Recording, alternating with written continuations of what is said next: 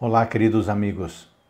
O capítulo 30 de Ezequiel apresenta uma visão profética da destruição do Egito. O Egito é descrito como uma nação pagã, abundante em idolatria, rebelde à vontade de Deus e com um faraó soberbo e orgulhoso. Por isso, foi uma nação ferida por Deus, destruída por Nabucodonosor, rei da Babilônia, povo usado como instrumento da ira de Deus contra o Egito. Em meio à destruição, em meio à violência, vemos Deus revelando sua soberania e sua justiça sobre as nações. Embora o Egito tenha sido uma, um império poderoso na região, Deus o puniu por sua arrogância, pecado e idolatria. O poder de Deus se manifestaria de tal maneira que nem as cidades aliadas seriam suficientes para deter a sua ira, como diz o versículo 5. Essa mensagem veio enquanto Jerusalém estava sendo atacada pela Babilônia. Judá se rebelou contra a Babilônia e fez aliança com o Egito, apesar das advertências de Deus.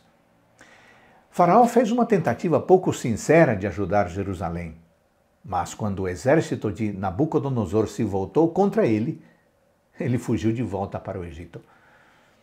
Quando Ezequiel disse que Deus quebraria o braço de Faraó, no verso 21, ele se referia a essas derrotas. A lista das cidades que seriam destruídas mostra o grau de destruição. Secar o Nilo denota enfraquecimento. O Egito ficaria completamente incapacitado. Essa foi uma mensagem clara para ajudar a não contar com a ajuda egípcia contra os babilônios. O que podemos aprender com essa visão é que Deus é justo e que seu juízo se estende, inclusive, às nações mais poderosas. Isso nos lembra que não há nada fora do alcance do olhar divino e que Deus tem o poder de controlar todas as coisas.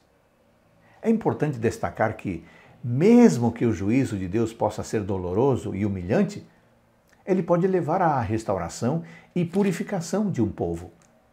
Isso é visto na promessa de que, depois da destruição do Egito, Deus lhes daria uma oportunidade de salvação e redenção.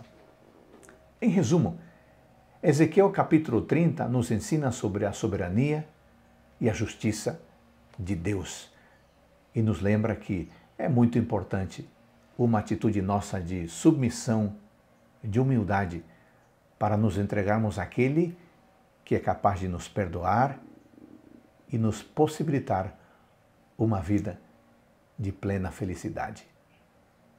Amém.